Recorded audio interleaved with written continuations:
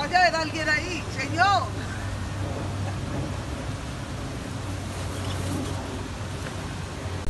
Mi nombre es John Montoya, trabajo para empresas varias de Medellín como auxiliar operativo. ¿Por qué reciclar? Dos factores eh, importantes. El primero, porque todo lo que se aprovecha se ingresa nuevamente a la cadena productiva y así no se utilizan los recursos naturales. Lo segundo, para aumentar la vida útil del relleno sanitario.